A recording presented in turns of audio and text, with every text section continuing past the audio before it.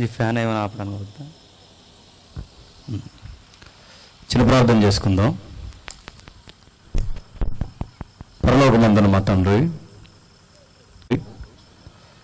సంఘానికి బాధ్యత కలిగిన నాయకులకి ప్రత్యక్షంగా పరోక్షంగా వింటున్న వారందరికీ ఎట్టి నిరీక్షణ కలిగి ఉండాలో నా నిరీక్షణలో తండ్రి ఏది ప్రాముఖ్యమైన పాత్రను పోషిస్తాదో ఒక్కసారి. మీ మాటల ద్వారా మాకు తెలియజేస్తారని ఆశిస్తూ తండ్రి మీ వాక్యమును వింటున్న మేము ఎట్టి కొలత ప్రకారం మేము నడవాలో మీ కోరిక ఎట్టిదో మరొక్కసారి గ్రహించడానికి మీ కృపగల ఆత్మచేత మమ్మల్ని నడిపించండి. మాట్లాడుతున్న నాయందు మీరే ఉండి మాట్లాడండి తండ్రి. జ్ఞాన ప్రదర్శన నేను చేయక నన్ను నేను మరుగు చేసుకుంటూ సమాజానికి మీ మనసును తెలియజెప్పడానికి మిమ్మల్ని కనబరచడానికి. మీ తరపున ఒక పాత్రగా మీరు నన్ను ఉపయోగించుకుంటారని అర్థిస్తూ వింటున్న మీ పిల్లలకు కూడా అర్థం చేసుకునే మంచి మనసును అనుగ్రహిస్తారని కోరుతూ ఈ చిన్ని ప్రార్థన క్రీస్తున్నామని సమర్పిస్తున్నాము తండ్రి. అమ్మాయి వేదిక మీద ఉన్న దైవజనులకి విశ్వాసులైన వారందరికీ క్రీస్తున్నామని శుభములు. ఈరోజు ఒక లోతైన సందర్భాన్ని మనం నేర్చుకోవడానికి ప్రయత్నం చేద్దాం. దయచేసి శ్రద్ధ కలిగి వినండి. మతే సువార్త అని ఒక సువార్త మనకు కనిపిస్తుంది బైబిల్లో. యేసుక్రీస్తు వారి యొక్క జీవన శైలిని రుజువులతో యూదులకు రాయబడిన సువార్తే మతే సువార్త అంటారు. ఈ మతేసు వార్తలో యేసుక్రీస్తు వారు చెప్పిన అనేక ఉపమానాలు మనకు కనిపిస్తాయి.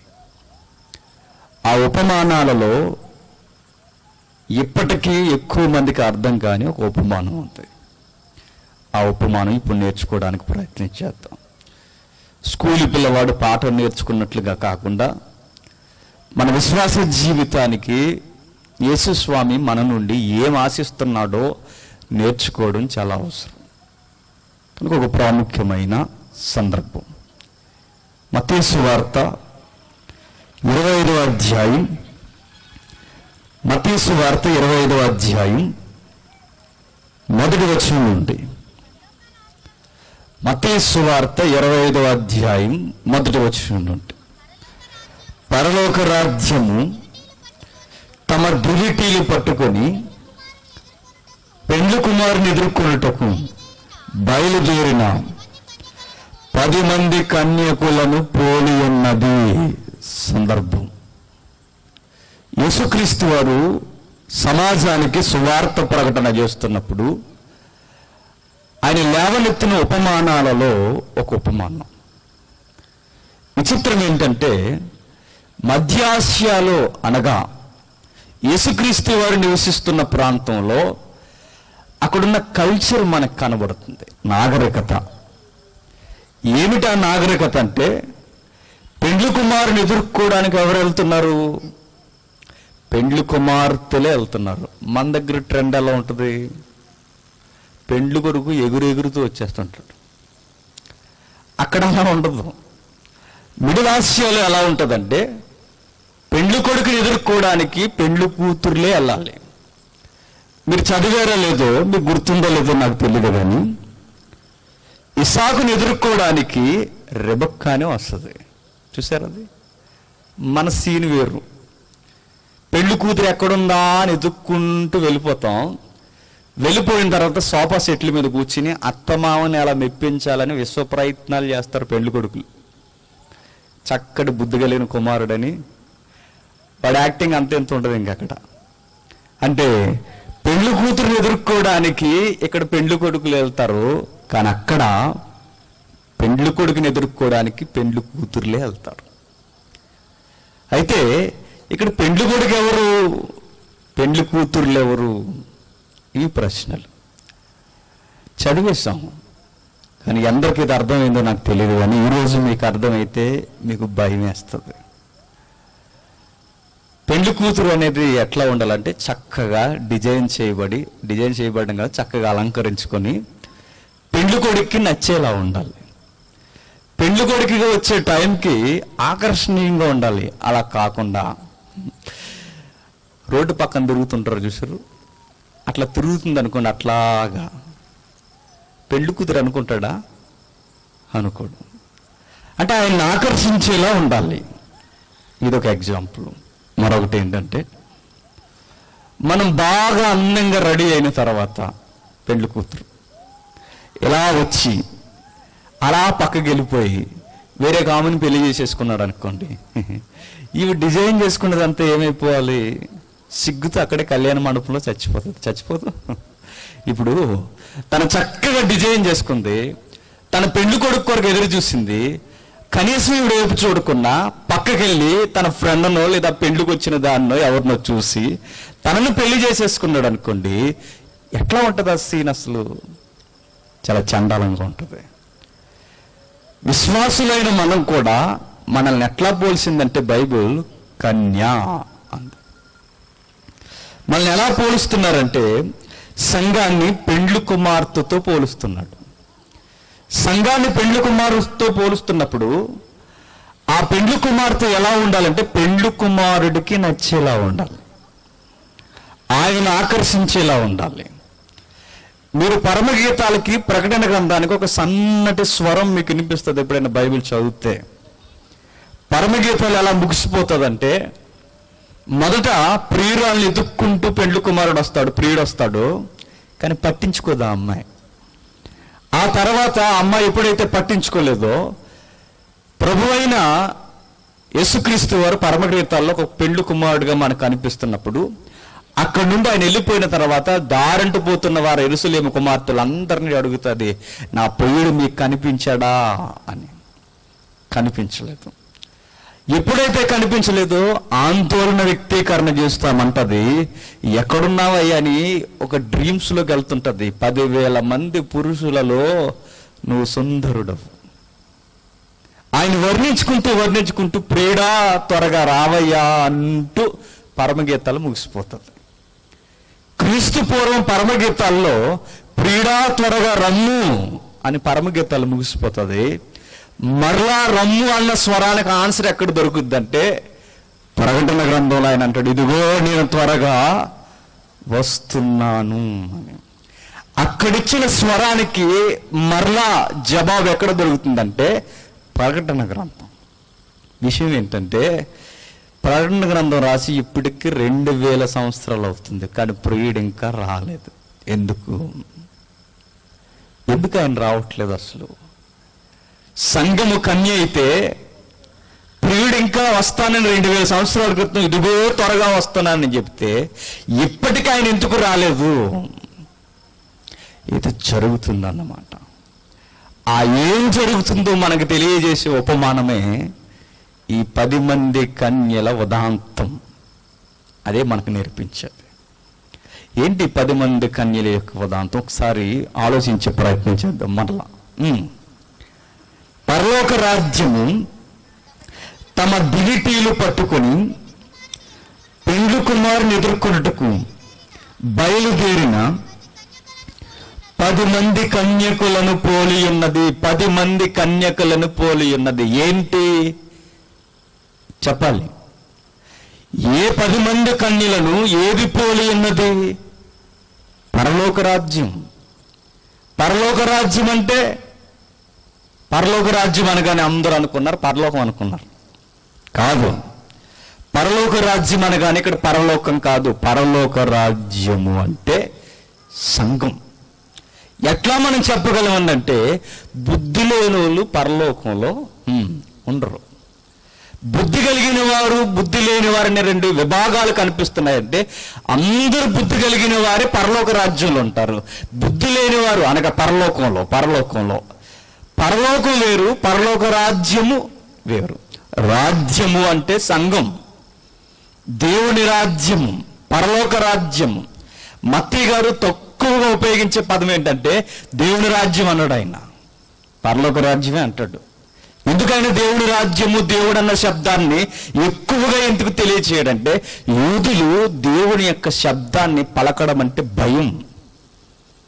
యెహోవా నామాన్ని ఎక్కువగా ఉచ్చరించిన వారు వారికి భయం వారికి.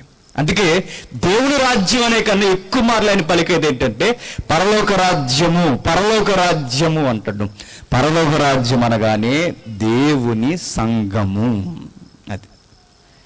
ఈ దేవుని సంఘంలో పది మంది బుద్ధి కలిగిన వారు పది మంది బుద్ధి లేనివారు అన్నాడు. బుద్ధి కలిగిన వారికి బుద్ధి లేని వారికి ఉన్న తేడా ఏంటి? బుద్ధి కలిగిన వారికి బుద్ధి లేని వారికి ఉన్న తేడా ఏంటంటే ఐదుగురు నిద్రపోతున్నారు ఐదుగురు నిద్రపోలేదు కనుక నిద్రపోయిన వారు బుద్ధి లేని వాళ్ళు నిద్రగా పో నిద్రపోకుండా మేలుకున్న వారు బుద్ధి కలిగిన వారు అని ఉంది బైబిల్లో? లేదు. పది మంది నిద్రపోయారు. బాగా వినండి.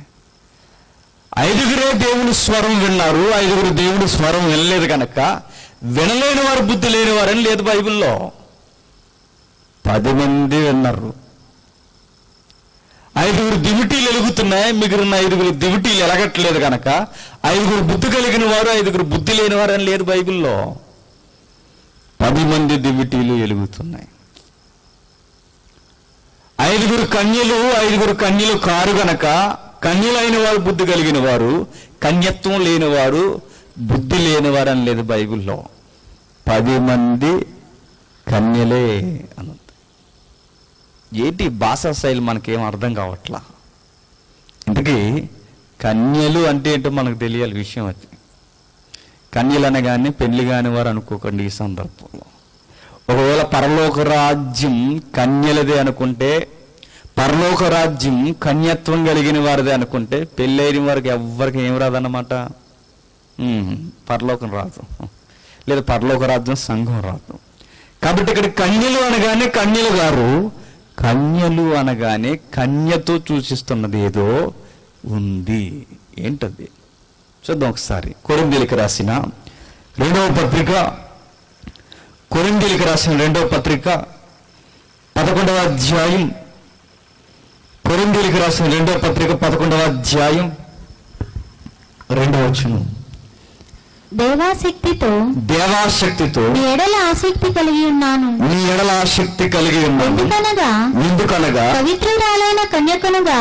పవిత్రురాలైన కన్యకునిగా ఒక్కడే పురుషునికి ఒక్కడే పురుషునికి అనగా అనగా క్రీస్తుకు సమర్పింపవలనని క్రీస్తునకు సమర్పింపవలనని మిమ్మను ప్రదానము చేసి మిమ్మను ప్రదానము చేసిదిని గాని సర్పము సర్పము తన కుయుక్తి చేత తన కుయుక్తి చేత హవను మోసపరిచినట్లు అవ్వను సిద్ధపరుచున్నట్లు ఇక్కడ బాగా వినండి. పవిత్రురాలైన కన్యకగా మిమ్మను క్రీస్తునకు ఏమి చేసేదని అంటున్నాడు పౌలు గారు? ప్రధానము చేసేదని ఇక్కడ కన్య అనగానే ఎవరు? సంఘము విశ్వాసి. కన్యలు అంటే కన్యలు గారు పెండ్లు కుమారుడు అంటే పెండ్లు కుమారుడు కాడు పెండ్లు కుమారుడు అంటే యేసుక్రీస్తు కన్యలు అనగానే విశ్వాసులు. నువ్వు నేనే మనమే. మనల్ని బుద్ధి కలిగిన వారితోని బుద్ధి లేని వారితోని పోలుస్తున్న ఉపమానం. ఈ ఉపమానంలో మనం నేర్చుకోవాల్సిన లోతైన సంగతులు ఉన్నాయి కొంచెం నిదానముగా మనం ఆలోచించగలిగితే. అపోసుడైన పౌలు గారు అంటున్నాడు పరిశుద్ధమైన కన్యగా మిమ్మును ప్రదానము చేసి తిని.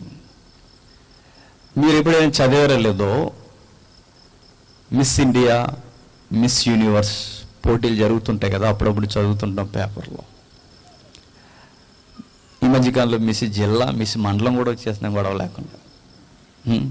రేపొద్దున మిస్ ఏంటిది? నందిగామ కూడా వచ్చేస్తాయి. అంటే ఆ పోటీలకు వెళ్ళడానికి గుర్తించండి ఈ మిస్ ఇండియా కానీ మిస్ యూనివర్స్ కానీ అవ్వాలంటే అందరూ అవరు ఎవరవుతారు తెలుసా? వారు అనుకున్నట్టుగా ఉండాలి ఉంటేనే సరిపోదు చక్కటి అందం ఉంటేనే సరిపోదు ఇంకే ఉండాలి తెలుసా? కన్యత్వం ఉండాలి. కన్యత్వపు పరీక్షలు కూడా చేస్తారు. నేను అడుగుతున్నాను ఈ లౌకికమైన పోటీల్లో ఒక కిరీటం తల మీద పెట్టుకోవడానికే ఈ లోకం ఆ పోటీకి అడుగుతున్నది ఏంటో తెలుసా? కన్యత్వం. ఈ లౌకికమైన పోటీల్లో కిరీటం పెట్టుకోవడానికి కన్యత్వం అవసరమైతే నువ్వు క్రీస్తు పక్కన పెండ్లు కుమార్తెగా ఉండాలి అంటే నీకెంత వర్జినిటీ అవసరమో ఒకసారి ఆలోచించు. ఒకవేళ గతంలో నీకు అపవిత్రమైన జీవితం ఉండొచ్చు. కానీ నూతన జీవితంలో నువ్వు వచ్చిన తర్వాత కొత్తగా జన్మించిన తర్వాత మరలా సాతానికి లేదా సాతాని యొక్క ఆ క్రియలకి మన జీవితాన్ని అప్పగిస్తే మన కన్యత్వాన్ని మనం కోల్పోతాం. దేవుడు కోరుతున్నాడు ఒక ఆత్మీయమైన కన్యత్వాన్ని మన నుండి ఆశిస్తున్నాడు. లోక సంబంధమైన పోటీలకి ఎంత పవిత్రత అవసరమైతే లోక సంబంధమైన పోటీల్లో కిరీటాన్ని పెట్టుకోవడానికి ఇంత కన్యత్వం అవసరమైతే మరి దేవునిలో దేవుని సహవాసంలో ఉండాలి అంటే సంగమా ఓ విశ్వాసి అయిన కన్య మరి నీకెంత పవిత్రత అవసరం? చాలా అవసరం. పర్లేదంటే కుదరడు ఆయన. సరదాగా లోకాన్ని ఒక లుక్ వేస్తానంటే ఊరుకోడు ఆయన. ఒక్కసారి ఆయనకి మాట ఇచ్చి నీకు ఆయనకి ప్రదానం జరిగితే నేనుకున్న బంధాలన్నీ కట్ చేసుకోవాలి. ఎప్పుడు ఆయనకి నీకు ప్రదానం జరుగుద్ది? బాప్తీసం అనే కార్యము ద్వారా నీకు ఆయనకు నిశ్చితార్థం జరుగుద్ది. ఆ నిశ్చితార్థంలో ఆయనకి మాటిస్తావు ఏమని? ఇక నా ఎందు జీవించేవాడు క్రీస్తే కానీ నేను కాదు. నా యందు లోకము కానీ దుష్టుని యొక్క ఆలోచన కానీ జరగడానికి వీల్లేదు అని ఆ నిశ్చితార్థంలో మాటిస్తాం. విషయం ఏంటంటే పౌలు గారు అంటున్నాడు మీకు ప్రధానం చేశాను పెండ్లయ్యేంత వరకు జాగ్రత్తగా ఉండండి. అంటున్నాడు. బాప్తిసం ద్వారా లేదా సంఘానికి యేసుక్రీస్తు వారితో నిత్యచార నిశ్చితార్థం జరిగిపోయింది ఎప్పుడో. రెండు వేల సంవత్సరాల నుండి నిశ్చితార్థం జరిగిపోయినా పెండ్లి ఈ పెండ్లి విందు ఏదైతే ఉందో వివాహ కార్యక్రమం ఏదైతే ఉందో వాయిదాల మీద వాయిదా వాయిదాల మీద వాయిదా వాయిదాల మీద వాయిదా పడుతుంది. ఎందుకు? పిల్ల ఇంకా రెడీ అవ్వలేదు అన్నమాట మీకు అర్థమవుతుందా? కొంచెం నా భాష అర్థం చేయనంత పెండ్లి వాతావరణం. అప్ప ఏమి తప్పుగా అర్థం చేసుకోకండి. ఉపమానంలో మత్తి గారు తెలియజేస్తున్నది మత్తి యొక్క ఉద్దేశం కాదు. ప్రభు యొక్క ఉద్దేశమే. ప్రభు నేర్పుతున్న ఉద్దేశంలో సంఘాన్ని పెండ్లు కుమార్తెతో లేదా కన్యలతో పోలుస్తున్నాడు ప్రధానం చేసుకున్న కన్యలతో. ఆయన పెండ్లు కుమారుడుగా కనబడుతున్నాడు. ఆయన మాట్లాడుతూ అంటున్నాడు పది మంది బుద్ధి కలిగిన వారు పది మంది బుద్ధి లేనివారు. అంటే సంఘం ఆయన రాకను ఎదుర్కోవడానికి సగానికి సగం మంది పడిపోతారన్నమాట. సగానికి సగం మంది నాశనిపోయాం క్షమించండి ఐదుగురు బుద్ధి కలిగిన వారు ఐదుగురు బుద్ధి లేనివారు సగానికి సగం మంది నాశనం అయిపోతారన్నమాట పడిపోతారు. ఎందుకు? పది మంది కన్యలే అన్నప్పుడు ఏమర్థం అవుతుంది పది మంది బాప్తిస్తాలు తీసుకున్నవారే. అది విషయం అక్కడ. అందరూ విశ్వాసులే. అందరూ ప్రవరాత్రి భోజనంలో చేతులు ముంచేవారే. అందరూ మోకాల ప్రార్థన చేసేవారే. అందరూ దేవుని కొరకు మాట్లాడేవారే. కానీ అందరూ ఆయన స్వరమును గ్రహించి లోనికి వెళ్ళేవారు కారు. పది మందిలో ఐదుగురు వెళతారు ఐదుగురు వెళ్ళరు ఎందుకు వెళ్ళరు అంటే ఆ ఉపమానంలో మనకు కనిపిస్తుంది అదనముగా నూనె లేదంట వారికి. ఎవరికి? బుద్ధి లేని వాళ్ళకి. ఏమి లేదు. అదనముగా వారికి నూనె లేదు. బుద్ధి లేని తనానికి గుర్తు ఏంటంటే అదనముగా నూనె లేకపోవడమే. ఏమి నూనె అది సన్ఫ్లవరా మరేంటి? మరి ఏంటది అదనముగా నువ్వు లేదు. అసలు ఈ భాష ఏంటి? ఇలాంటి ఉపమానాలు ఏంటి అసలు? ఏదో లోతైన సంగతులు మనకు నేర్పిస్తుంది బైబుల్ అదే నేర్చుకుందాం. చూద్దాం మరలో ఒకసారి పరలోక రాజ్యము తమ దివిటీలు పట్టుకొని పెళ్ళి కుమారుని ఎదుర్కొనుట పెండు కుమారుని ఎదుర్కొంటూ బయలుదేరిన బయలుదేరిన పది మంది కన్యకలను పోలి పది మంది కన్యకులను పోలి ఉన్నది. పది మంది కన్యకులను పోలి ఉన్నది. పది మంది కన్యకులను పోలి ఉన్నది. పౌలు గారు అంటున్నాడు మీరే కన్యలు. సంగమా నువ్వే కన్యవు. నీకు ఆయనకి ప్రదానం జరిగింది. ఇక వివాహ కార్యము జరగాల్సి ఉంది. మీ పవిత్రతను కాపాడుకోండి. మీ పవిత్రమైన జీవితాన్ని ఆయన వచ్చేంత వరకు జాగ్రత్తగా కాపాడుకోండి. ఆయన ఎప్పుడో సెలవిచ్చాడు ఇదిగో నేను త్వరగా వస్తున్నానని. ఇన్ని రోజులు అయిపోయింది నిశ్చితార్థం జరిగి ఇంకా సంఘాన్ని పరలోకానికి తీసుకెళ్ళకుండా ఎందుకు ఆయన విడిచిపెడుతున్నాడంటే ఈ పెళ్ళి కుమార్తె ఎవరైతే ఉందో ఈమె అలంకరించుకోవడంలో ఏదో తేడా వచ్చిందన్నమాట. మీకు అర్థం కావాలంటే ఒక విషయం చెప్తాను. పెళ్ళి కొడుకు నిశ్చితార్థం జరిగిపోయిన తర్వాత వివాహం పలానా రోజని నిశ్చయ నిశ్చయించేశారు డేట్ పెట్టేశారు. తర్వాత డేట్ మార్చేశారు. మరలా డేట్ మార్చారు ఇలా మారుస్తూ మారుస్తూ డేట్లు మారుస్తూ ఉన్నప్పుడు నిశ్చితార్థం జరిగిన అమ్మాయికి గుండెల్లో ఎలా ఉండాలి? మహా ఆనందం ఉండకూడదు. మరి ఎలా ఉండాలి? బాధగా భయంగా ఉండాలి. ఏమవుతుంది అసలు? నిశ్చితార్థం జరిగిపోయింది ఆయనకి నాకు. వివాహం జరగట్లేదు. ఎందుకు ఈ వాయిదాల మీద వాయిదాలు పడుతున్నాయి? ఎందుకు ఇన్నిసార్లు డేట్ మారుతుంది? త్వరగా వస్తానన్న సంకేతం ఆయనలో కనిపిస్తుంది. వస్తున్నాళ్ళే అనుకునే లోపే రావట్లేదని నాకు అర్థమవుతుంది. ఎందుకు నా వివాహం ఇన్నిసార్లు మారుతుందని అమ్మాయి దిగులుగా ఉండాలి ఆ పెండ్లి కూతురు. కానీ అమ్మాయికి బాధ ఉందా? ఎవరు అమ్మాయి అంటే? ఎర్రగా చూస్తున్నారు మీరే. సంఘం. ఈరోజు సంఘానికి ఏమన్నా బాధ ఉందా? పెండ్లి కుమారుడు రావట్లేదని? లేదు. అందరూ ఆనందంగా ఉన్నారు. ఎవరి కార్యక్రమాలు వారికి? వివాహం వాయిదాల మీద వాయిదాలు పడుతున్నప్పుడు అమ్మాయి డల్లగా లేకుండా మస్తు ఉత్సాహంగా ఉందనుకోండి ఏంటి కదా మనసులో ఎవరో ఉన్నారన్నమాట. అంతేనా?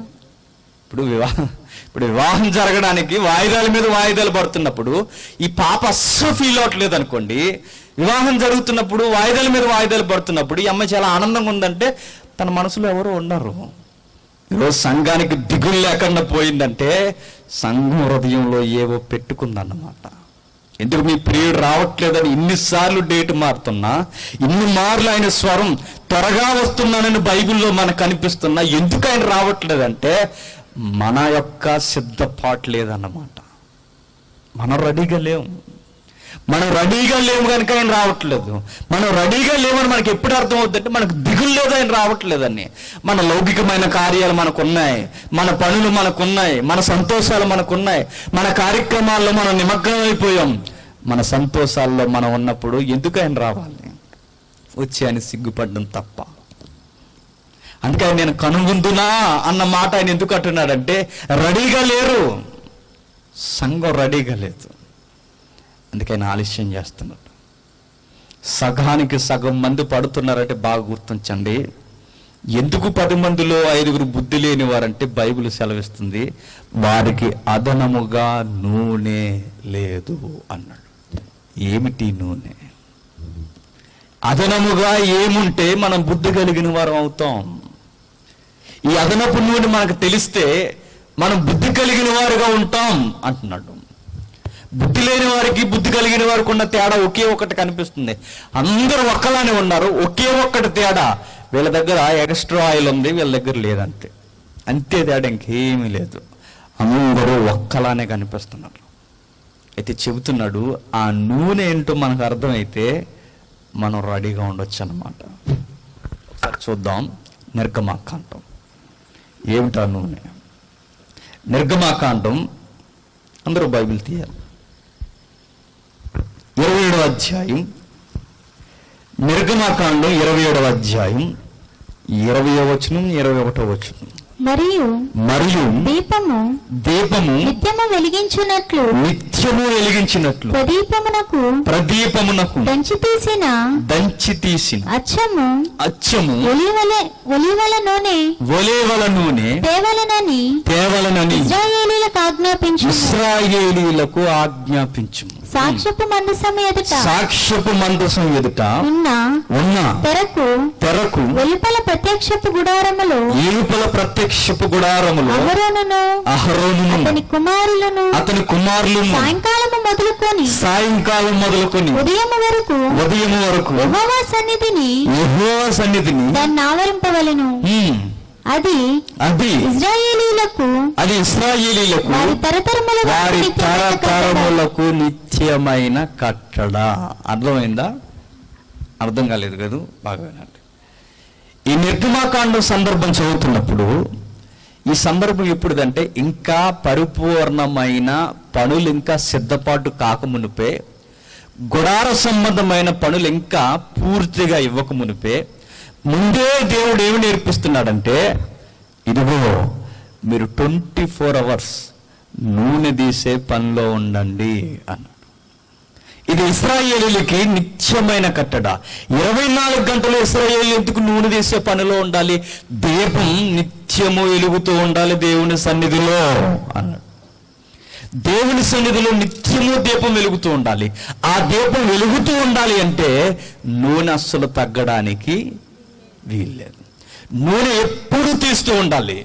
అహరోనును అతని కుమారులను ఇస్రాయేలీలు అందరూ మీరు ఇరవై నాలుగు గంటల నూనె తీసే పనిలో ఉండాలి. పరిపూర్ణమైన పనులు ఇంకా ఇవ్వక మునిపే ముందుగానే ఇవ్వబడిన పని ఏంటంటే నూనె అందరి దగ్గర సమృద్ధిగా ఉండాలి. నూనె పాత్రలో అన్నాడు. ఎంత నిత్యమైన కట్టడ కాకపోతే బాగా గుర్తించండి. అంత ముందుగా చెబుతాడు. మీకు ఒక ఎగ్జాంపుల్ చెప్తాను బైబిల్లో. ఎలీసా కాలంలో ఒక ప్రవక్త యొక్క భార్య చనిపోతుంది. చదువుకున్నాం కదా? చదువుకున్న వాళ్ళని చేయొద్దండి. ఇంకటి రెండు మూడు చేతులు వేలేసాయి బైబిల్ చదవరు అసలు? చదవకపోతే మీకు పనిష్మెంట్ చదువుద్దని చూడండి ఒకసారి. రెండవ రాజుల గ్రంథం. రెండవ రాజుల గ్రంథం నాలుగవ అధ్యాయం. రెండవ రాజుల గ్రంథం నాలుగవ అధ్యాయం. మొదటి వచ్చిన నుండి. అంతట ప్రవక్తల శిష్యులలో ఒకని భార్య. నీ దాసుడైన నా పెనిమిటి చనిపోయెను అతడు యెహోవయందలి భక్తి గలవాడు ఉండెనని నీకు తెలిసే ఉన్నది. నా ఇద్దరు కుమారులు నా. వారిని పట్టుకుని పోవుటకు వచ్చి ఉన్నాడని థ్యాంక్ యూ సార్. నా వలన నీకేమి కావలెను. నీ ఇంటిలో ఏమి ఉన్నదో. అది హ్మ్. అందుకామె దాసురాలైన నా ఇంటిలో నూనె కుండ ఒక్కటి ఉన్నది. అది తప్ప మరి ఏమయో లేదు. ఏం అర్థమవుతుంది ఇక్కడ? ఆ ప్రవక్త చనిపోయాడు. ఆ ప్రవక్తకి ఇద్దరు ఇద్దరు పిల్లలు. ఆ ఇద్దరు చిన్న బిడ్డల్ని భవిష్యత్తులో మీరు ఏం దిగులు పడకండి మీకు ఖచ్చితమైన ఆస్తులు దాచేశారని ఏదేమీ ఇవ్వలేదు కానీ అప్పులు ఉంచిపోయాడు ఆయన. ప్రవక్తలు లేదా సేవకులు అప్పులు చేయకూడదు మరి ఎందుకు చేశాడో మనకు తెలియదు. ఆయన అప్పుల్లో పీకల లోతుల్లో ముంచేసి ఆ కుటుంబాన్ని రోడ్డు నుదిలి వెళ్ళిపోయాడు. ఆ ఇంటికి ఎలీసా రావడానికి ముందే ఈ భార్య ప్రవక్త చనిపోయిన యొక్క భార్య ఎవరైతే ఉన్నారో ఈ భార్య వెళ్ళి ఎలీసాతో మాట్లాడుతుంది. ఏమని? ఇదిగో అయ్యా నా యజమాని హోవయందుల భయభక్తులు కలిగిన వాడే చనిపోయాడు. అప్పులు వాడు వచ్చి నా ఇద్దరు పిల్లల్ని తీసుకెళ్ళిపోతాను అంటున్నాడు అయితే ఈ ఇద్దరు పిల్లల్ని తీసుకెళ్ళిపోతాను అంటున్నాడు అప్పులు ఎలా తీర్చాలో నాకు తెలియని ఉక్కిరి బిక్కిరి పరిస్థితుల్లో నేను సంప్రదిస్తున్నానయ్యా. అప్పుడు ఎలీసా అంటున్నాడు మీ ఇంట్లో ఏమున్నాయమ్మా? అని అడిగాడు. ఏమున్నాయట? నూనె కుండ ఒక్కటే ఉందట. మరి మిగిలిన ఇంకేమీ లేవా? మిగిలిన ఏం కనిపించట్లేదా ఇంట్లో? ఫర్నిచర్ లేదా? లేదు. ఎందుకు లేదు? ఆ అప్పులుగా అమ్మేసి ఉంటారు. అంటే ఎంత అప్పులుగా అయిపోయి ఉంటే కనీసం ఇంట్లో నిత్యవసరాలు లేదా ఇంట్లో కనీసం వస్తువులు కానీ ఏమీ కనిపించట్లేదు. వారి ఇంట్లో ఉన్న సామానం అన్నీ అమ్మేసి ఉండాలి. అన్నీ అమ్మేసినా కానీ ఏం అమ్ముకోలేదో తెలుసా? నూనె కొండ అమ్మలా. ఎందుకని? నూనె కొండ ఇస్త్రాయేలీలు అమ్మరు అది నిత్యమైన కట్టడ. వారి దగ్గర నిత్యమైన పాత్ర నిత్యము నూనెతో నింపబడిన పాత్ర ఉండాలి. వారు అమ్మడానికి వీల్లేదు. వారి యెహోవా యొక్క ఆజ్ఞను గైకొంటూ దీపం ఎప్పుడు వెలుగుతూ ఉండడానికి వారు నూనెని సిద్ధం చేస్తూ ఉండాలి. వారు అన్ని పాత్రలు అమ్మేస్తారు అన్ని అమ్మి పాటిస్తారు ఇంట్లో ఉన్న వస్తువులన్నీ అమ్మేస్తారు. ఆ పాత్రను మాత్రం ఎందుకు అమ్మలేదంటే దేవుడు చెప్పాడు అది అమ్మడానికి వీల్లేదు. ఆ కుటుంబం దీవింపబడడానికి కారణాల్లో ఒక కారణం ఏంటో చెప్పనా? ఆ నూనె పాత్ర ఉండడం. ఈరోజు సంఘాలు దీవింపబడకపోవడానికి కారణం ఏంటో చెప్పనా? ఆ పాత్ర లేకపోవడం. మన విశ్వాస జీవితంలో ఎలిగింపబడక బడకుండా ఉండడానికి గల కారణం ఏంటో తెలుసా? ఆ నూనె పాత్రలు మన దగ్గర అదనముగా లేకపోవడం. ఏమిటా నూనె? పాత నిబంధన దగ్గర నుండి ఈ నూనె కొరకు ఎందుకు దేవుడు ఇలా కొనసాగిస్తూ వస్తున్నాడు? కొత్త నిబంధనలో కూడా యేసుస్వామి ఎందుకు తన ఉపమానంలో చెప్పాడు? దేవుని గూర్చి మనకు తెలియజేయాలనుకుంటున్నాడు? ఇది నేర్పిస్తున్నాడు ఆయన? ఏమి నేర్పించాలనుకుంటున్నాడు? అసలు ఆ నూనెకి సంకేతం ఏంటని అడిగితే ఇదే బైబిల్ సెలవిస్తుంది. ఒకసారి చూద్దాం. యోధ పత్రిక. యోధ పత్రిక. ఒకే అధ్యాయం ఉంటుంది. ఇరవై ఇరవై ఒకటి వచ్చినాం యోధ పత్రిక. ప్రియులారా మీరు విశ్వసించిన అతి పరిశుద్ధమైన దాని మీద మిమ్మల్ని మీరు కట్టుకొనుచు పరిశుద్ధాత్మలో ప్రార్థన చేయొచ్చు నిత్య జీవార్థమైన మన ప్రభు అయిన యేసుక్రీస్తు కనికరం కొరకు కనిపెట్టుచు దేవుని ప్రేమలో నిలిచినట్లు కాచుకుని ఉండుడి. సందేహపడు వారి మీద కనికరం చూపుడు. ఎంత బాగా చెప్తున్నాడు చూడండి. మరలా ఒకసారి ఇరవై ఒకటి వచ్చిన ప్రియులారా మీరు విశ్వసించే అతి పరిశుద్ధమైన దాని మీద మిమ్మల్ని మీరు కట్టుకొనుచు పరిశుద్ధాత్మలో ప్రార్థన చేయొచ్చు నిత్య జీవార్థమైన మన పొరగోగు యేసుక్రీస్తు కనికరం కొరకు కనిపెట్టుచు యేసుక్రీస్తు కొరకు కనిపెట్టుచు యేసుక్రీస్తు కొరకు కనిపెట్టుచు దేవుని ప్రేమలో నిలుచుచు కనిపెట్టచ్చు అన్న పదం చూడండి. ఎవరిలో ఉండి కనిపెట్టాలంటే యేసుక్రీస్తు వారిని? పరిశుద్ధాత్మలో. పరిశుద్ధాత్మలో ఉండి యేసుక్రీస్తు వారిని కనిపెట్టాలి. అక్కడ పది మంది ఎవరిలో ఉండి కనిపెట్టాలో తెలుసా? పరిశుద్ధాత్మలో ఉండి కనిపెట్టాలి. అప్పుడు ఆయన గుర్తిస్తాడు. అక్కడ అదనముగా కనిపిస్తున్న నూనె ఎలుగుతున్న దీపం ఏమై ఉంటుంది అని బైబిల్ అడిగితే బైబిల్ సారం చెబుతుంది. అది పరిశుద్ధాత్మునికి సంకేతము. అది అదనపు నూనె కలిగి ఉన్నవాడే ఆయన చేత గుర్తింపబడతాడు. నువ్వు బాప్తిసం తీసుకున్నా ఆ రక్షణ కార్యంలో నువ్వు ప్రభరాత్రి భోజనం తీసుకున్నా నీలో ఆత్మ నడిపింపు లేకపోతే నీవు ఆయన వాడవు కావు. పరిశుద్ధాత్మ యొక్క నడిపింపు ప్రతి ఒక్క విశ్వాసకి చాలా అవసరం. ఎప్పుడైతే ఆత్మలు కలిగి ఉంటామో మనం అదనపు నూనె కలిగి ఉన్నవారు. అందుకే రోమిలకు రాసిన పత్రికలో ఏమని ఆయన వాపోతున్నాడో చూడండి. రోమిలకు రాసిన పత్రిక ఎనిమిదో అధ్యాయం తొమ్మిదో వచనం. రోమిలకు రాసిన పత్రిక ఎనిమిదో అధ్యాయం తొమ్మిదో వచనం. దేవుని ఆత్మ.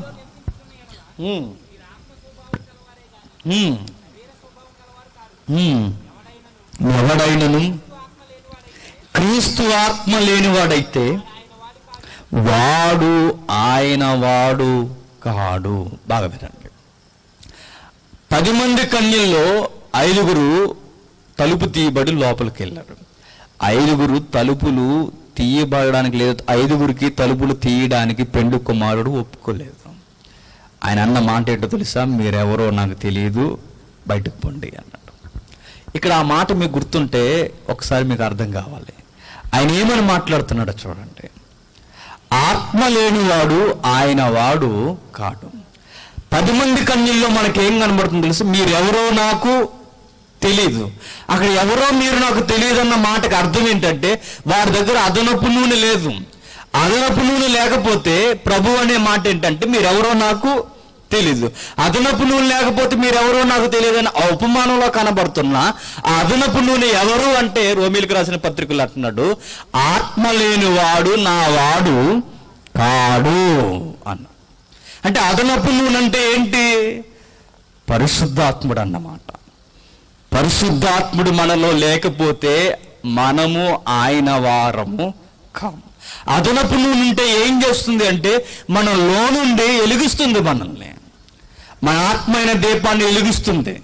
మన ఆత్మైన దీపాన్ని వెలిగిస్తుంది. ఎట్లా వెలిగిస్తుందంటే మీరు గుర్తించండి పరిశుద్ధాత్మని యొక్క పని ఏంటంటే ఆయన నీతిని గూర్చియు పాపమును గూర్చియు తీర్పును గూర్చియు ఒప్పింపజేస్తాడు. అంటే నీ ఆత్మకు అపవిత్రత పట్టకుండా ఎప్పటికప్పుడు హెచ్చరిక చేస్తూ నిన్ను ఎలిగిస్తూ శుద్ధీకరణ చేస్తూ నేను పవిత్రమైన కన్యకగా ఆయన కొరకు సిద్ధం చేస్తాడన్నమాట. ఎవరైతే ఆత్మను కలిగి ఉన్నారో ఆయన వారు పరిశుద్ధాత్మలు ఎప్పుడు మన నుండి వెళ్ళిపోతాడో తెలుసా?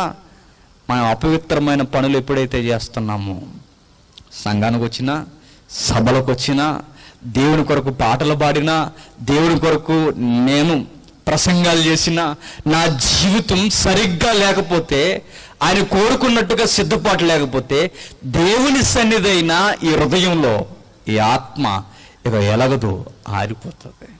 అందుకే పౌలు గారు అంటారు ఆత్మను ఆర్పకుడి అంటాడు. ఎందుకు ఆ మాటలు వాపోతున్నాడంటే అదే అదే దాని అర్థం. సంఘం గుర్తించుకోవాల్సింది ఏంటంటే పరిశుద్ధాత్మని ఎప్పుడు మనం దుఃఖపరిచేలా ఉండకూడదు. ప్రతి విశ్వాసి మన గుర్తెరగాలి ఈ దేహము ఆ ఆత్మకు ఆలయము.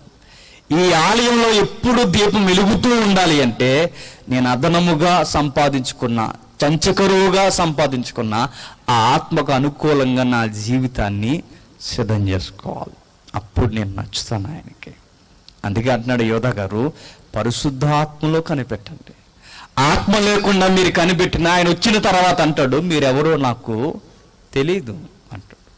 ఆత్మ లేకుండా ఆయన వారు మనం కావాలని కోరుకోవడం అది బుద్ధి లేనితనం అందుకే పరిశుద్ధాతుడు మనకు చాలా అవసరం. పూర్వం ఒక పాట రాశారు మీరు చూసారు లేదో. ఒకసారి ఆ వీడియో సాంగ్ చూద్దరు కానీ.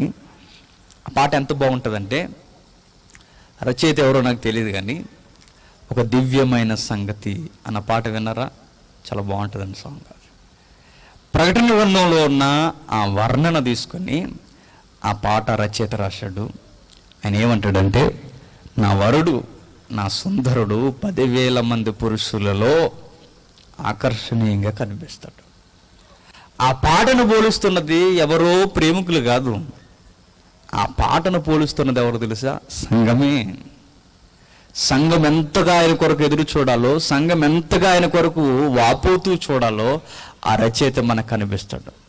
ఎందుకు ఈ భావాన్ని మీకు తెలియజేస్తున్నానంటే ఈ ఈ ఇష్టం మనం ఆయన మీద పెంచుకుంటే మనకు లోకం అంత నచ్చదు. ఇలాంటి ప్రేమను ఆయన మీద మనం పంచుకుంటే లోకం మనకు అంతగా రుచించదు. నీకు పాపం నచ్చుతుందంటే నువ్వు ఆయన టేస్ట్ చేయట్లేదన్నమాట.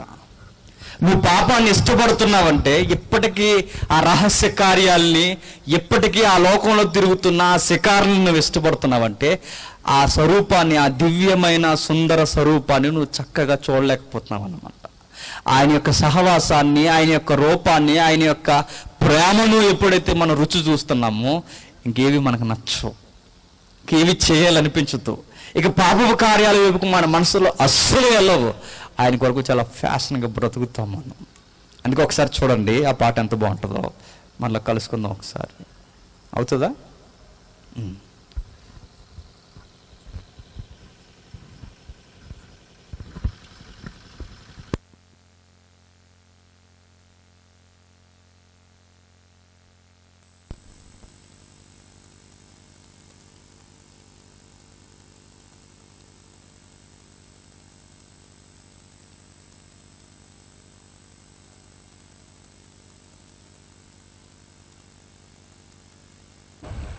ఏడవ అధ్యాయం.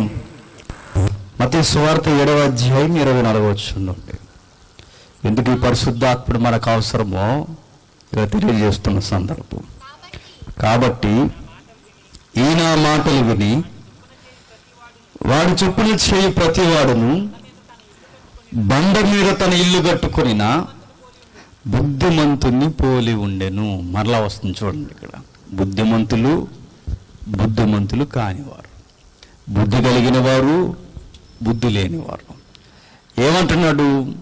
ఈయన మాటలు చెప్పిన ఎవడైతే విని బండ మీద తన ఇల్లును కట్టుకుంటాడో వాడెవడట? బుద్ధిమంతుడు. ఆయన మాటలు ఏంటి అని బైబిల్ని అడిగితే వాక్యం. ఈ వాక్యాన్ని ఎవరు నేర్పిస్తారయ్యా పరిపూర్ణతలోనికి నడిపించడానికంటే ఆత్మ. ఆ ఆత్మే పరిశుద్ధాత్మ. పరిశుద్ధాత్మని యొక్క ఉనికి ఏంటంటే మిమ్మల్ని సంపూర్ణతలోనికి నడిపించును. ఎందుకు ఆయన సంపూర్ణతలోకి నడిపిస్తాడంటే ఆయన వాక్యమును ఎందుకు మనకు అందిస్తాడంటే ఈ ఉపమానంలో చెప్తున్నాడు. బండ మీద ఇల్లు కట్టుకోవడం ఎంత అవసరం అంటే జీవితంలో అనేక ప్రమాదాలు వస్తాయి.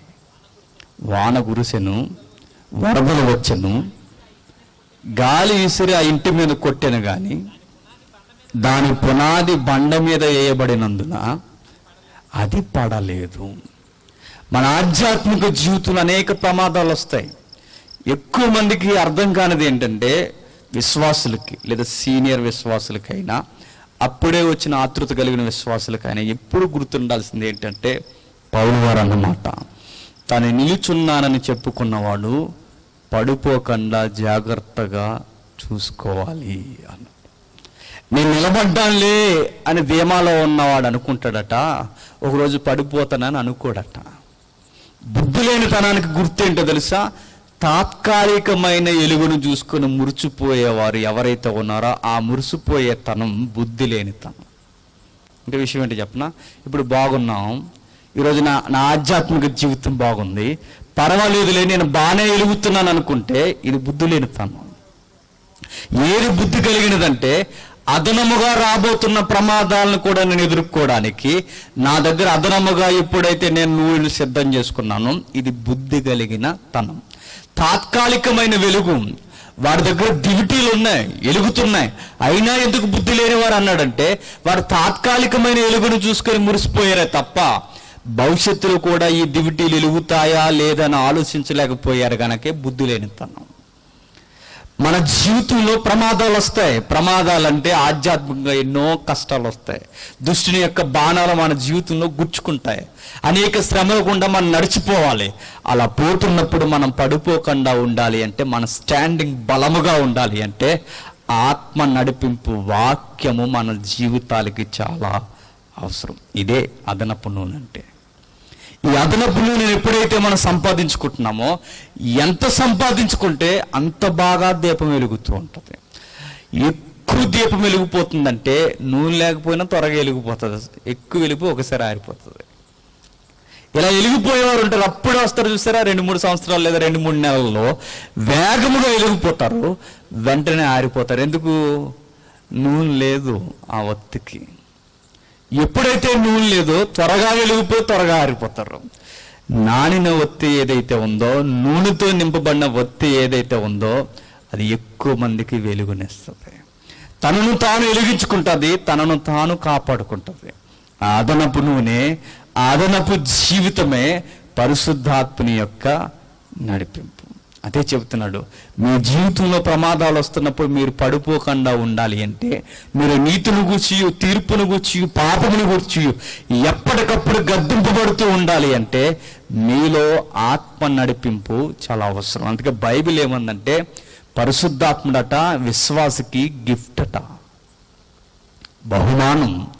మనకి బహుమానంగా ఆయన ఎందుకు ఇస్తున్నాడంటే ఇదిగో ఆ పెళ్ళి కుమార్ని రాకను మనం ధైర్యముగా ఎదుర్కోవడానికి. అందుకే ఆయన మనకి బహుమానముగా ముందుగా మనకి ఇవ్వబట్టడం మరొక ఉపమానం చూద్దాం మరొక మంచి మాట. యోహన సువార్త పదహారవ అధ్యాయం. మరొక మంచి మాట చూడండి. యోహన సువార్త పదహారవ అధ్యాయం పన్నెండు వచ్చును పదమూడు వచ్చును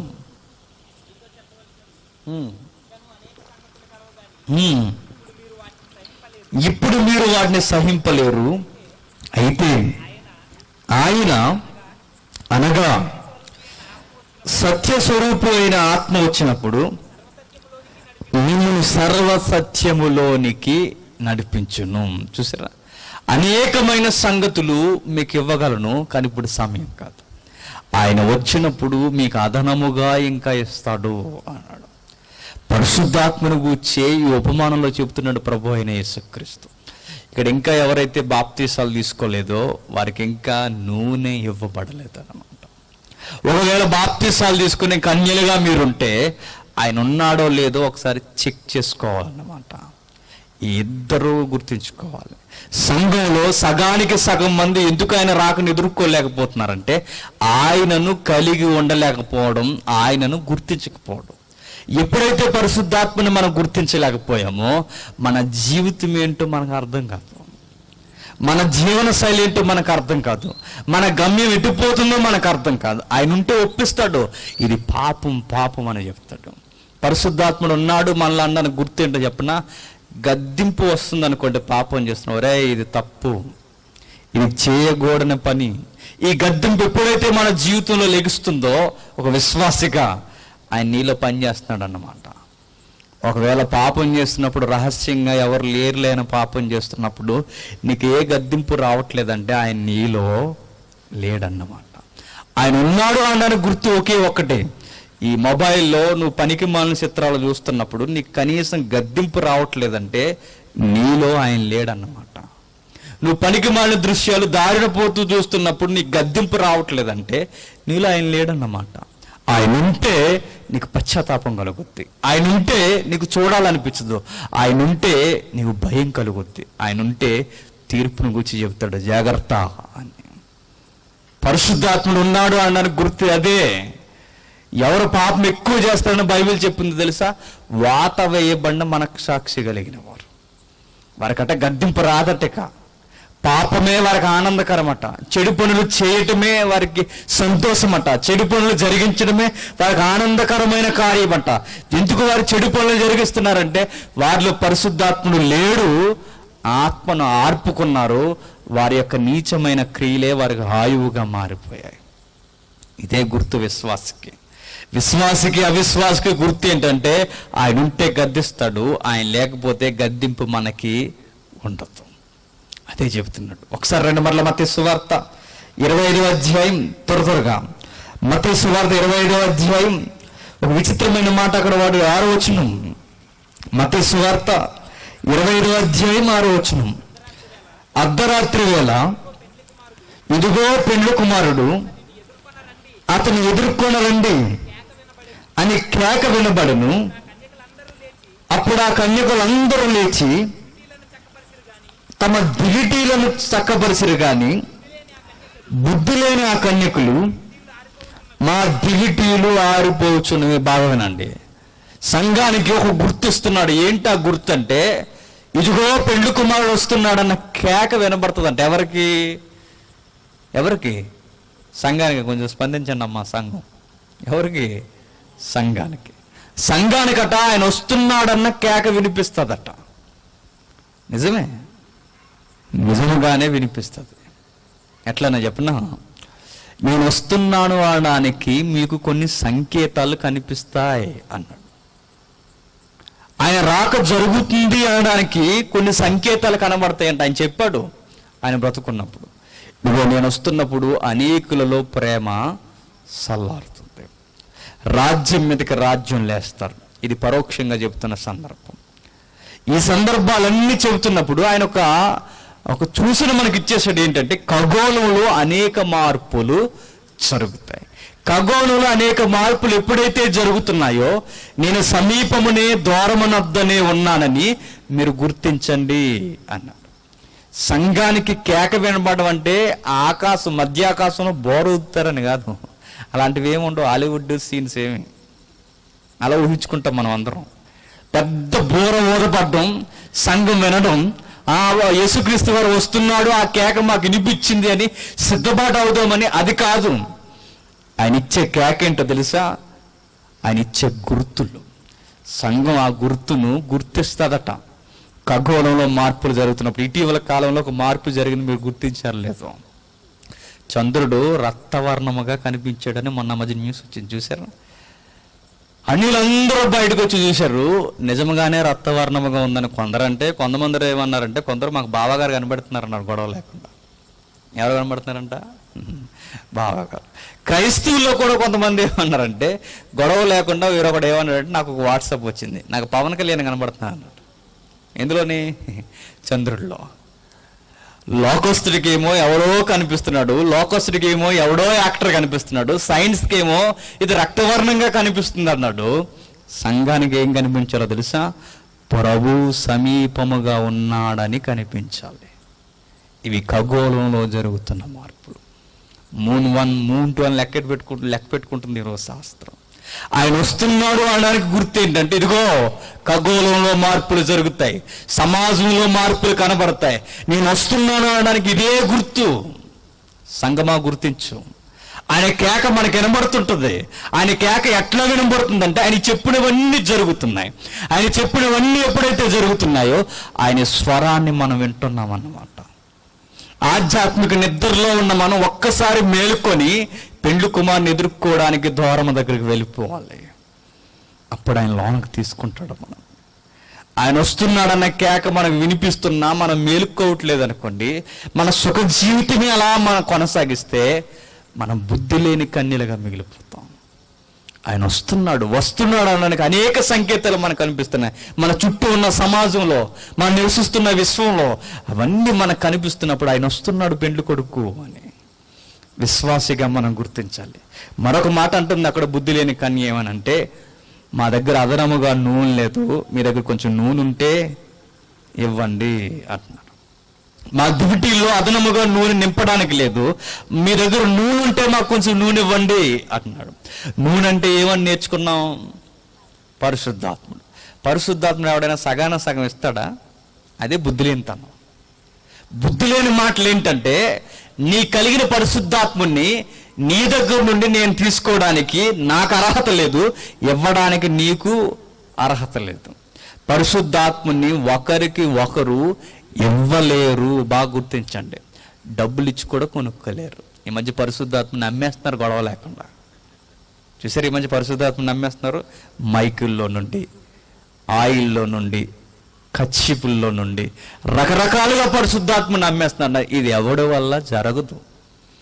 పరిశుద్ధాత్ముడు ఒకడు అమ్మితే అమ్మబడేవాడు కాదు ఒకడు కొనుక్కుంటే వచ్చేవాడు కాడు. పరిశుద్ధాత్ముడు దేవుడిస్తే వచ్చేవాడు. అందుకే బైబిల్లో రాయబడిన మాట చూడండి. లోకస్వార్త పదకొండవ అధ్యాయం. పరిశుద్ధాత్ముడు ఎట్లా వస్తాడో చెబుతున్నాడు చూడండి. లోకస్వార్త పదకొండవ అధ్యాయం. పదమూడు లోకస్వార్త పదకొండవ అధ్యాయం పదమూడు వచ్చును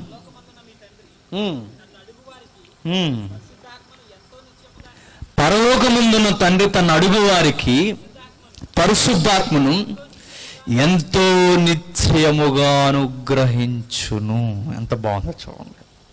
పరిశుద్ధాత్మని ఎవరిస్తారట? తండ్రి అయిన దేవుడు ఇస్తారట. ఎవరు ఇవ్వలేరు? మనుషులు ఇవ్వలేరు. ఒకరోజు గారిడి సీమోన్ అని ఒకడు కనబడతాడు. ఎవరు? అపోస్తుల కార్యంలో గారిడి అంటే మ్యాజిక్. ఆ మ్యాజిక్ చేసేవాడు ఎవడైతే ఉన్నాడో వాడు పరిశుద్ధాత్మని అమ్మేమంటాడు ఎవరిని? పేతురు గారిని యోహన్ గారిని. మీ దగ్గర ఉన్న ఆ వరం ఏదైతే ఉందో ఆ పరిశుద్ధాత్మని వరం నాకు అమ్మేయండి నేను ద్రవ్యం ఇస్తాను అన్నాడు. అప్పుడు అపోస్తులు లేవన్నారు తెలుసా? నీ ద్రవ్యము నీ యొక్క నీ యొక్క ఆస్తి నీతో పాటు నశించుగాక దేవుని ఆత్మను ఎవరు పడితే వారు ఇవ్వడానికి అర్హత లేదు. అది దేవుని వలన రావాలి.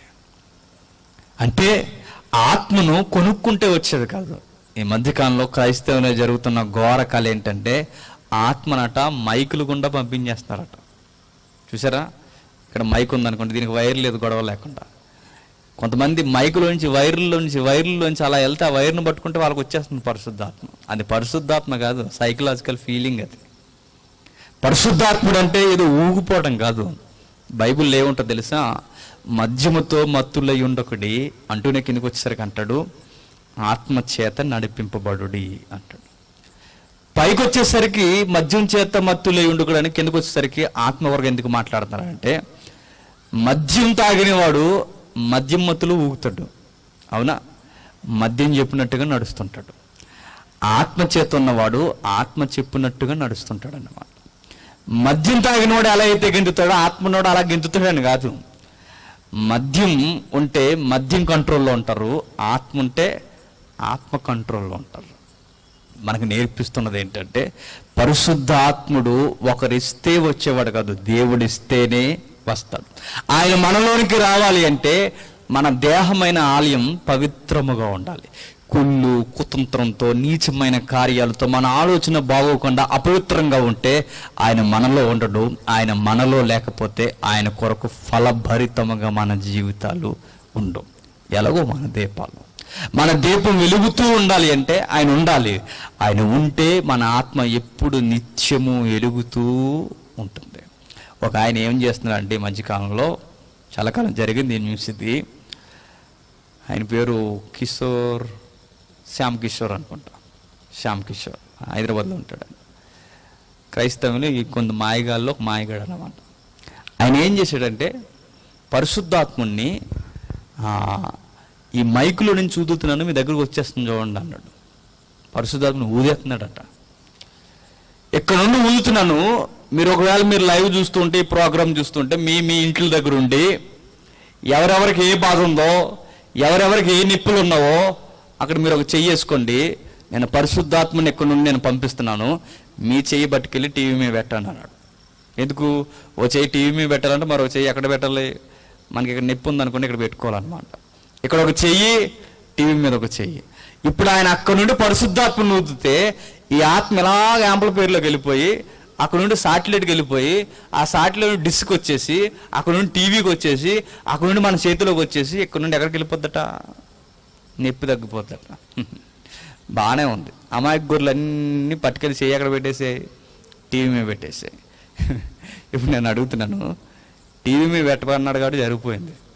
మరి ప్లగ్లో పెట్టమంటే పెడతావా? పెట్టినే పెడతారండి క్రైస్తవులు. ఎవరు ఏం చెప్తే అది నమ్ముతారు. నిజంగానే ఆత్మహత్య అప్పుడు ఎక్కడ పెడితే? నీ ఆత్మ బయటకు వచ్చేది. ఆ? అలాంటి పిచ్చి పనులు చేయకూడదు. ఆత్మ ఎక్కడో ఊరితే వచ్చేది కాదు. ఎవరో అమ్మితే వచ్చేది కాదు.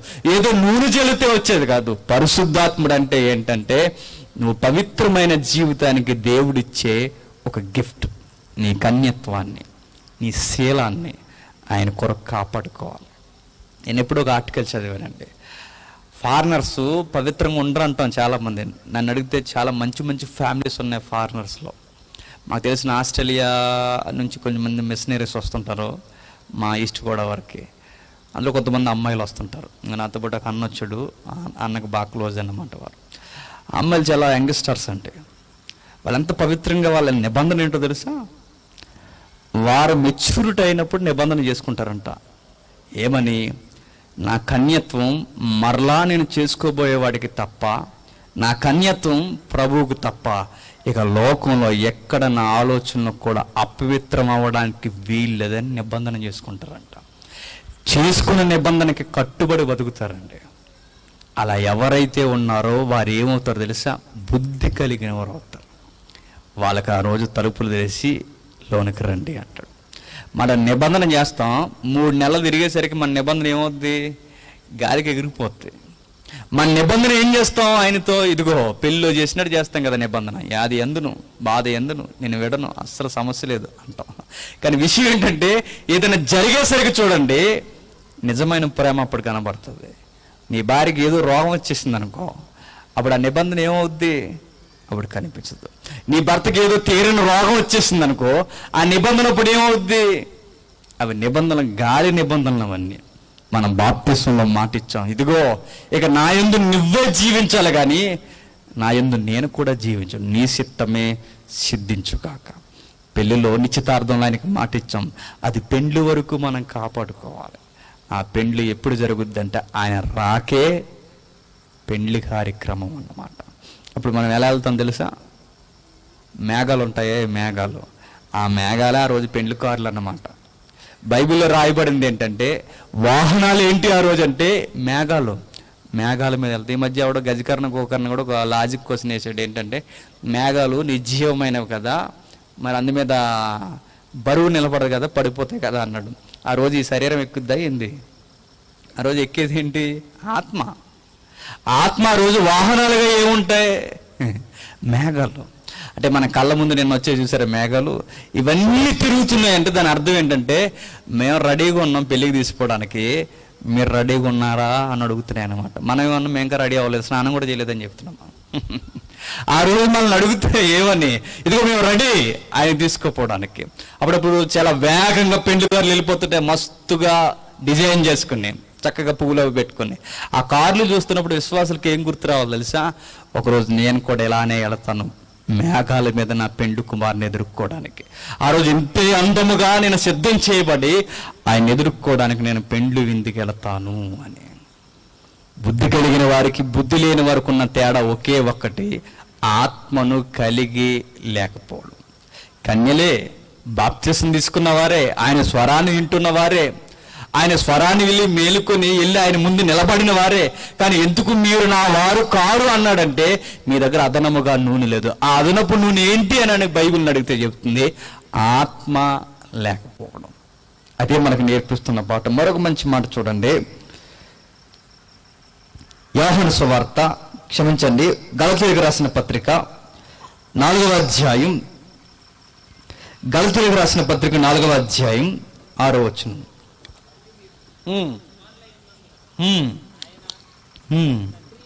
తండ్రి అని మొరపెట్టు తన కుమారుని ఆత్మను దేవుడు మన హృదయములలోనికి పంపెను. ఇక్కడ రెండు సందర్భాలు మనకు కనిపిస్తాయి. ఒకటి ప్రభువుకి రెండు పరిశుద్ధాత్మకి. ఇక్కడ చెబుతున్న తన కుమారుని ఆత్మ అనగానే ఒకటి ప్రభు అయిన యేసుక్రీస్తుని సూచిస్తుంది రెండు పరిశుద్ధాత్మను కూడా సూచిస్తుంది. ఈ రెండులో మనకు కనిపిస్తున్నది ఏంటంటే ఈ సందర్భంలో పరిశుద్ధాత్ముని మన హృదయానికి పెట్టాడండి. ఎందుకు? ఆయనను గూర్చి మరింతగా మనం విజ్ఞాపన చేయడానికి. అంటే పరిశుద్ధాత్ముడు విశ్వాసకి ఎంత అవసరం అంటే ఆ రోజు ఆయన ఎదుట నేను నిలబడడానికి ధైర్యం కలిగించడానికి ఆ రోజు ఆత్మ నాకు చాలా అవసరం. నన్ను నేనుగా ఆయన ఎదుట నేను నిరూపించుకోలేను. నన్ను నేనుగా ఆయన ఎదుట నేను కనుబరుచుకోలేను ఆయన ఉంటేనే ఆ రోజు నేను గుర్తెరగలను మనకి ఎన్ని సూచనలు ఇస్తున్నాడు చూడండి. ఎన్ని మాటలు మనకు నేర్పిస్తున్నాడో చూడండి. ఎవరో ఇస్తే ఆయన రాడు. ఆయన స్వరం వినబడాలి అంటే మీ చుట్టూ ఉన్న పరిస్థితులను చూడండి. ఎవరో కొనుక్కోవడానికి మీరు దుకాణాల దగ్గరికి పోతే ఆత్మ మీకు దొరకదు అన్నాడు. ఆ రోజు కనీసం అమ్మడానికి కూడా ఎవరు ఉండరు అన్న మాట మనకు కనిపిస్తుందంటే గుర్తించండి. అమ్మేవారు ఎవరంటే పోలిగ్గా కొంతమంది ఉపమానాల్లో లేదా కొంతమంది వ్యాఖ్యానకర్తలు ఏమన్నారంటే బోధించేవారు అన్నారు. యేసు రాకళ్ళు ఇక బోధించడం ఏమి ఉండదు ఇక. ఆ రోజు మరలా మరలా బోధించడం ఏమి ఉండదు. ఆ రోజు ఒకే ఒక్కటి ఆయన ఎదుర్కోవడం. ఆ రోజు ఏం జరుగుద్దో ఆ పెండ్లి మీద ఎలా ఉంటుందో ఒక్కసారి చూసి ముగించుకుందాం. ప్రకటన గ్రంథం పంతొమ్మిదవ అధ్యాయం. ప్రకటన గ్రంథం పంతొమ్మిదవ అధ్యాయం ఆరో వచనం నుండి. ప్రకటన గ్రంథం పంతొమ్మిదవ అధ్యాయం ఆరో వచనం నుండి. అప్పుడు గొప్ప జన సమూహము శబ్దమును విస్తారమైన జలముల శబ్దమును సర్వాధికారియు ఆయనను స్తుతించుడి. గొర్రెపిల్ల వివాహ మహోత్సవ సమయం వచ్చి ఉన్నది. ఆయన భార్య తన్ను తాను సిద్ధపరచుకొని ఉన్నది.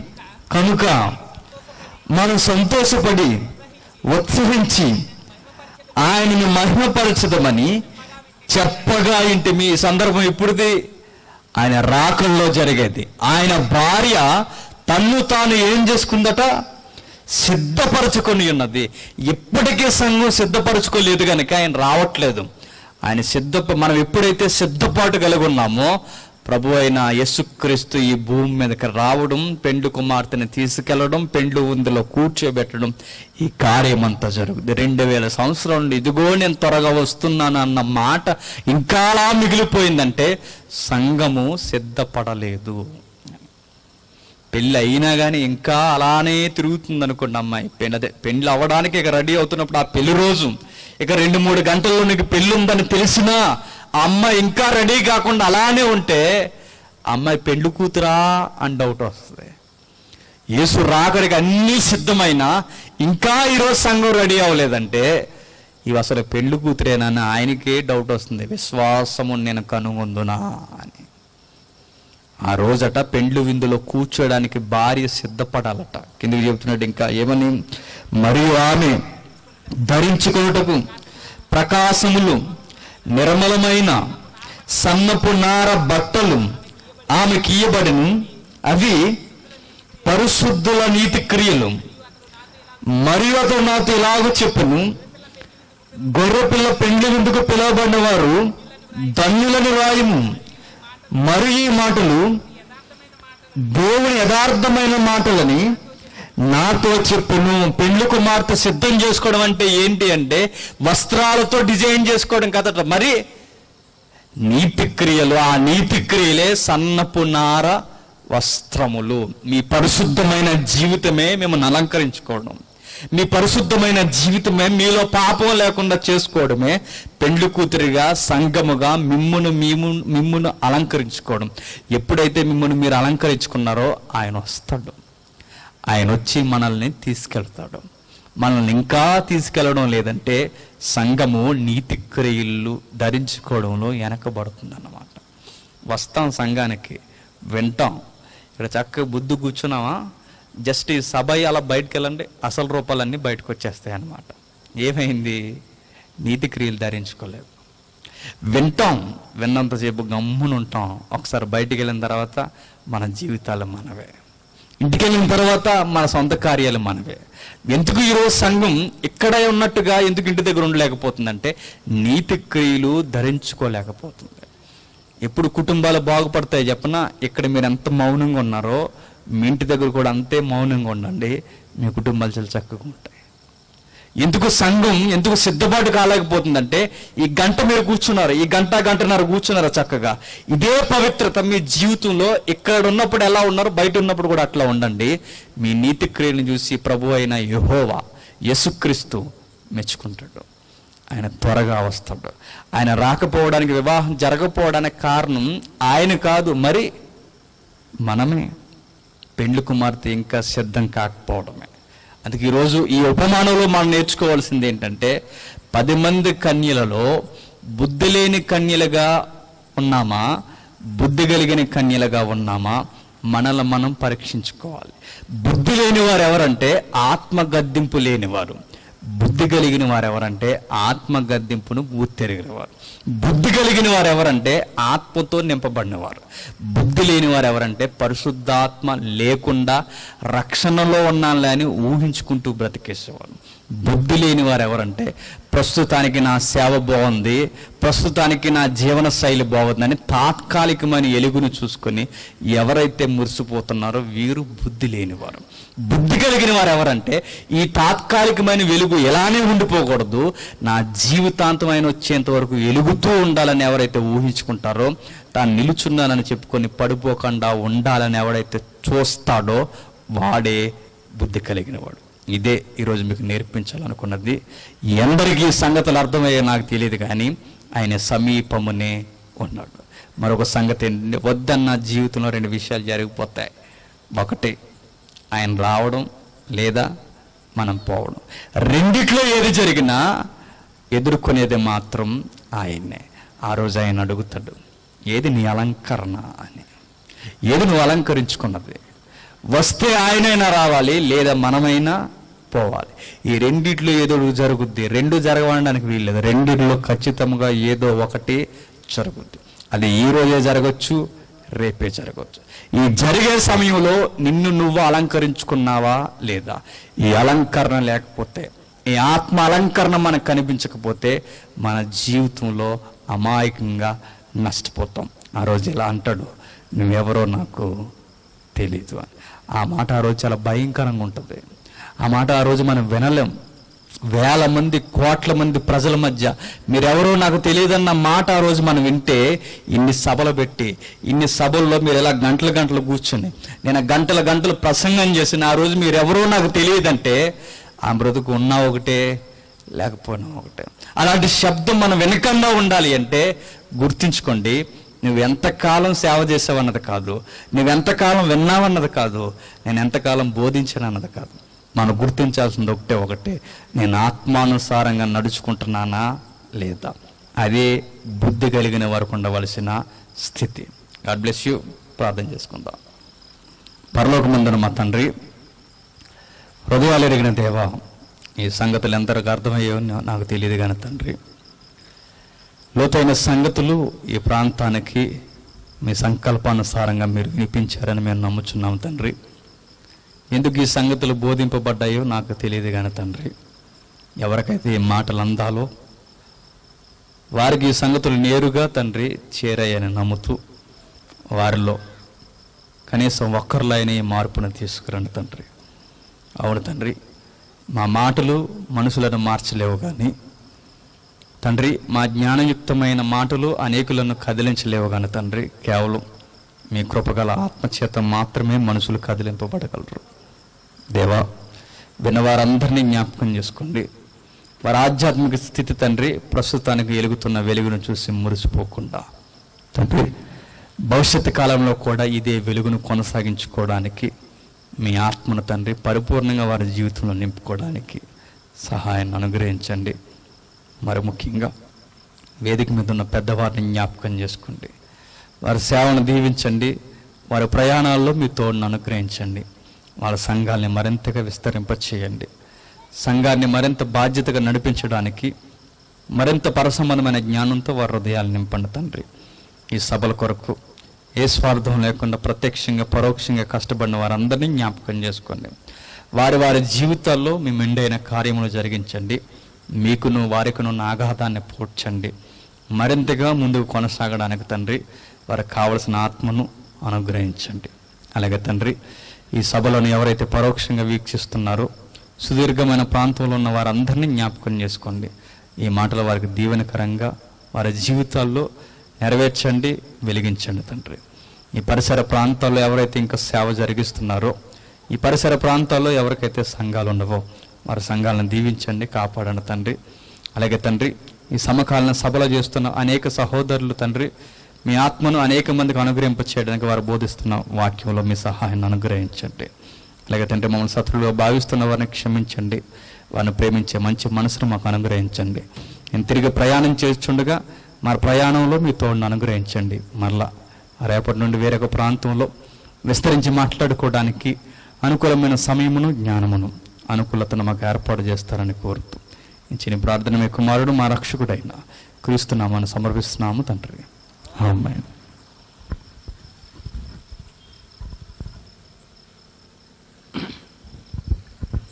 మంచిది.